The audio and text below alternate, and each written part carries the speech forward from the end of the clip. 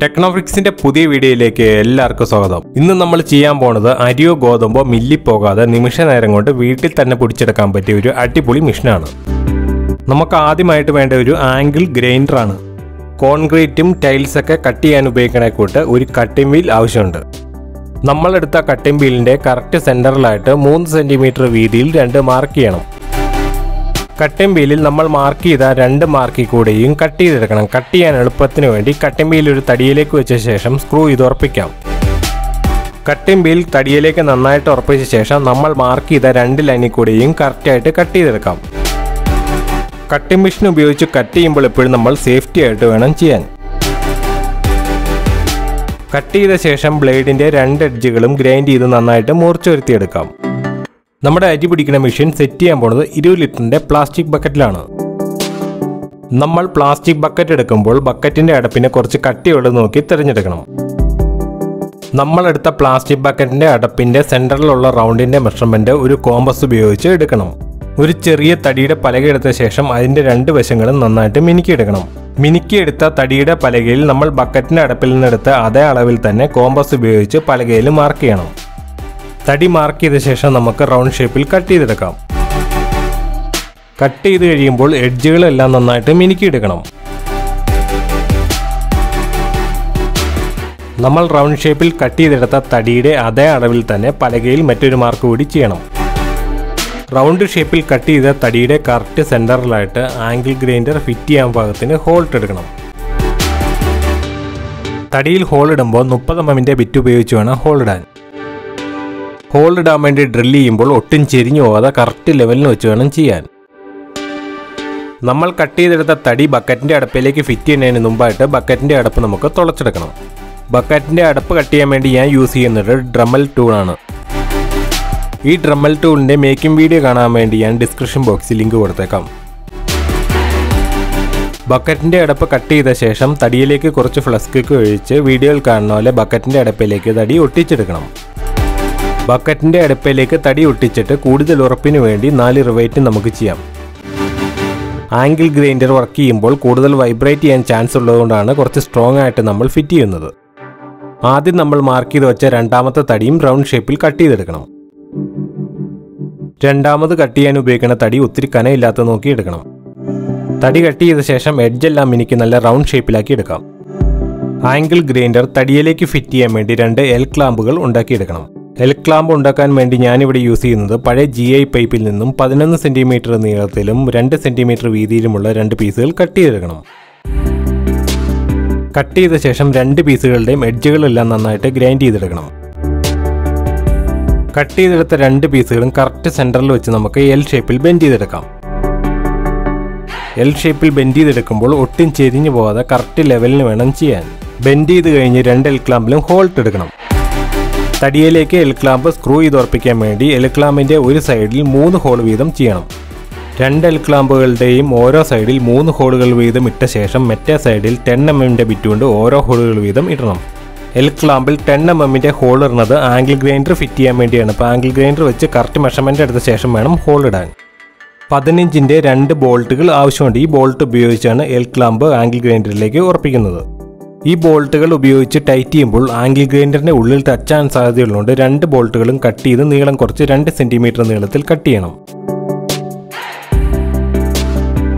ഇനി നമുക്ക് ആംഗിൾ ഗ്രൈൻഡറിലേക്ക് രണ്ട് എൽ ക്ലാമ്പുകളും പതിനഞ്ചിന്റെ ബോൾട്ട് ഇട്ട് ഫിറ്റ് ചെയ്തെടുക്കാം. എൽ ക്ലാമ്പുകൾ ടൈറ്റ് ചെയ്യുമ്പോൾ ഒട്ടും ചെരിഞ്ഞു പോകാതെ കറക്റ്റ് ലെവലിൽ വെച്ച് വേണം ചെയ്യാൻ. അടുത്തതായിട്ട് നമുക്ക് ചെയ്യാനുള്ള എൽ ക്ലാമ്പുകൾ തടിയിലേക്ക് സ്ക്രൂ ചെയ്ത് ഉറപ്പിക്കാനാണ്. സ്ക്രൂ ചെയ്ത് ഉറപ്പിക്കുന്നതിന് മുമ്പായിട്ട് ആംഗിൾ ഗ്രൈൻഡർ തടിയിലെ ഹോളിലേക്ക് ഇറക്കി വെച്ച ശേഷം കറക്റ്റ് ലെവലിൽ വെച്ച് എല്ലാം മാർക്ക് ചെയ്ത ശേഷം വേണം സ്ക്രൂ ചെയ്യാൻ. എൽ ക്ലാമ്പിന്റെ ഓരോ സൈഡിലും മൂന്ന് സ്ക്രൂകൾ വീതമാണ് ചെയ്യുന്നത്. ഇനി നമ്മുടെ മെഷീനിൽ നമ്മൾ ആദ്യം കട്ട് ചെയ്ത് റെഡിയാക്കി വെച്ച ബ്ലേഡ് ഫിറ്റ് ചെയ്തെടുക്കണം. ബ്ലേഡ് ഇറക്കി വെച്ച ശേഷം ലോക്ക് നട്ട് ഇട്ട് നന്നായിട്ട് ടൈറ്റ് ചെയ്തെടുക്കണം. നമ്മൾ ആദ്യം റൗണ്ട് ഷേപ്പിൽ കട്ട് ചെയ്ത് വെച്ച തടി ഈ ബ്ലേഡിന്റെ ഉള്ളിലേക്ക് ഇറങ്ങി നിൽക്കാൻ പാകത്തിന് ഹോൾ ഇടാൻ വേണ്ടി ബ്ലേഡിന്റെ മെഷർമെന്റ് എടുക്കണം. തടിയിൽ ഹോൾ ഇടാൻ വേണ്ടി അതിന്റെ അളവ് ഒരു കോമ്പസ് ഉപയോഗിച്ച് നമുക്ക് മാർക്ക് ചെയ്തെടുക്കാം. മാർക്ക് ചെയ്ത ശേഷം നമുക്ക് തടിയിൽ ഹോൾട്ട് എടുക്കാം. നമ്മൾ കട്ട് ചെയ്ത് ഹോൾട്ട് എടുത്ത തടിയിൽ ഫിറ്റ് ചെയ്യാൻ പാകത്തിനുള്ള ഇരുമ്പിന്റെ ഒരു അരിപ്പ ആവശ്യമുണ്ട്. ഈ അരിപ്പ മില്ലിൽ അരി പിടിക്കാൻ യൂസ് ചെയ്യുന്ന സെയിം അരിപ്പയിൽ നിന്നും കട്ട് ചെയ്തെടുത്താണ് നമ്മുടെ മെഷീനിൽ ഫിറ്റ് ചെയ്യാനുള്ള അരിപ്പ് എടുക്കുമ്പോൾ തീരെ ചെറിയ ഹോളിൽ അരിപ്പ് എടുത്തു കഴിഞ്ഞാൽ വളരെ നൈസായിട്ടുള്ള പൊടി ചാടുകയും ഹോൾ വലുതനുസരിച്ച് തരി കൂടുതലുള്ള പൊടി ചാടുകയും ചെയ്യും. നമ്മൾ എടുത്തു വെച്ച അരിപ്പയിലേക്ക് കട്ട് ചെയ്ത് വെച്ച തടിയുടെ ഹോളിന്റെ അളവ് മാർക്ക് ചെയ്തെടുക്കണം. മാർക്ക് ചെയ്ത ശേഷം തടിയുടെ അതേ ഷേപ്പിൽ തന്നെ അരിപ്പയും കട്ട് ചെയ്തെടുക്കണം. ഞാൻ എടുത്ത അരിപ്പ കറക്റ്റ് ഈ വീതിയിലുള്ളത് കിട്ടാത്തതുകൊണ്ട് രണ്ടരിപ്പ ജോയിന്റ് ചെയ്താണ് എടുത്തത്. അരിപ്പ കട്ട് ചെയ്ത ശേഷം നമുക്ക് തടിയിലേക്ക് അരിപ്പ ഫിറ്റ് ചെയ്തെടുക്കാം. അരിപ്പ ഫിറ്റ് ചെയ്യാൻ വേണ്ടി തടിയിലേക്ക് ചെറിയ ആണി അടിച്ചാണ് അരിപ്പ ഫിറ്റ് ചെയ്യുന്നത്. പല അളവിലുള്ള അരിപ്പകൾ കൊണ്ട് ഇതുപോലെ ഉണ്ടാക്കി വെച്ച് കഴിഞ്ഞാൽ നമ്മുടെ ഉപയോഗം അനുസരിച്ച് മാറ്റി മാറ്റി ഇട്ട് യൂസ് ചെയ്യാൻ സാധിക്കും. തടിയിലേക്ക് നമ്മൾ ആംഗിൾ ഗ്രൈൻഡർ സെറ്റ് ചെയ്തപ്പോൾ തടിയുടെയും ആംഗിൾ ഗ്രൈൻഡറിന്റെയും ഇടയ്ക്ക് ചെറിയ ഗ്യാപ്പ് ഉണ്ടായിരുന്നു. ആ ഗ്യാപ്പിക്കിടെ പൊടി മുകളിലേക്ക് പറക്കാൻ സാധ്യതയുള്ളതുകൊണ്ട് അതിന്റെ ഇടയ്ക്ക് നമുക്ക് ചെറിയ പാക്കിംഗ് പോലെ കൊടുക്കാം. പാക്കിംഗ് ആയിട്ട് ഉപയോഗിക്കുന്നത് സൈക്കിളിന്റെ ട്യൂബ് റൗണ്ട് ഷേപ്പിൽ കട്ട് ചെയ്തെടുത്താണ്. കട്ട് ചെയ്തെടുത്ത ട്യൂബിന്റെ പീസുകൾ നമുക്ക് തടിയിലേക്ക് ഒട്ടിച്ചെടുക്കാം. ഒട്ടിക്കാൻ വേണ്ടി ഫ്ലസ് കിക്കാണ് യൂസ് ചെയ്യുന്നത്. ഗ്യാപ്പിക്കിടെ ഒട്ടും പൊടി പുറത്തേക്ക് പറക്കാതിരിക്കാൻ വേണ്ടി ട്യൂബിന്റെ മൂന്ന് പീസുകൾ കട്ട് ചെയ്ത് ഒട്ടിക്കുന്നുണ്ട്. നമ്മുടെ മെഷീന്റെ ഉള്ളിലേക്ക് പൊടിക്കാനുള്ള ഗോതമ്പോ അരിയോ ഇട്ട് കൊടുക്കാൻ വേണ്ടി ഒന്നര ഇഞ്ചിന്റെ പി വി സി പൈപ്പ് കയറാൻ പാകത്തിനുള്ള ഒരു ഹോൾ തടിയിൽ ഇട്ട് കൊടുക്കണം. തടിയിൽ ഹോൾ ഇടുമ്പോൾ ഉള്ളിലുള്ള ബ്ലേഡിലേക്ക് കറക്റ്റ് അരി ചാടാവുന്ന രീതിയിൽ വേണം ഹോൾ ഇടാൻ. ഒന്നര ഇഞ്ചിന്റെ പി വി സി പൈപ്പിൽ നിന്നും പന്ത്രണ്ട് സെന്റിമീറ്റർ നീളത്തിൽ കട്ട് ചെയ്തെടുക്കണം. പൈപ്പ് ഇത്ര നീളത്തിൽ വെച്ചില്ലെങ്കിൽ അരിയോ ഗോതമ്പോ പൊടിക്കുമ്പോൾ മുകളിലേക്ക് തെറിക്കാനുള്ള സാധ്യതയുണ്ട്. പാക്കിംഗ് ഒട്ടിക്കാൻ വേണ്ടി അഴിച്ചെടുത്ത ആംഗിൾ ഗ്രൈൻഡർ വീണ്ടും നമുക്ക് ക്ലാമ്പയിലേക്ക് ബോൾട്ട് ഇട്ട് ടൈറ്റ് ചെയ്തെടുക്കാം. ബോൾട്ടിന്റെ കൂടെ ഒരു വാഷർ കൂടി ഇട്ടിട്ട് വേണം ടൈറ്റ് ചെയ്യാൻ. പതിനഞ്ചിന്റെ സ്പാൻഡർ ഉപയോഗിച്ച് നമുക്ക് രണ്ട് ബോൾട്ട് നന്നായിട്ട് ടൈറ്റ് ചെയ്തെടുക്കാം. ബോൾട്ട് രണ്ട് നന്നായിട്ട് ടൈറ്റ് ചെയ്ത ശേഷം മെഷീന്റെ ബ്ലേഡ് ഇട്ട് ബ്ലേഡും നന്നായിട്ട് ടൈറ്റ് ചെയ്യണം. അടുത്തതായിട്ട് നമുക്ക് അരിപ്പ ഫിറ്റ് ചെയ്യാം. അരിപ്പ ഫിറ്റ് ചെയ്യുന്നത് സ്ക്രൂ ചെയ്താണ്. ആവശ്യാനുസരണം നമുക്ക് അരിപ്പ ചേഞ്ച് ചെയ്യാനും സാധിക്കും. നമ്മുടെ ഉപയോഗം കഴിയുമ്പോൾ അരിപ്പ ഫിറ്റ് ചെയ്ത സ്ക്രൂ ഊരി കഴിഞ്ഞാൽ ബ്ലേഡ് എല്ലാം ക്ലീൻ ചെയ്യാനും സാധിക്കും.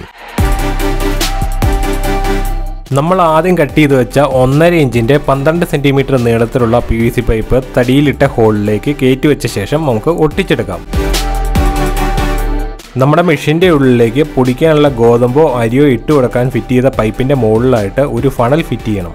ഒരു ഫണൽ എടുത്ത ശേഷം ഒന്നര ഇഞ്ച് പൈപ്പിന്റെ ഉള്ളിലേക്ക് ജസ്റ്റ് ഇറങ്ങിയിരിക്കാൻ പാകത്തിന് ഫണലിന്റെ അടിഭാഗം കട്ട് ചെയ്ത് കളയണം.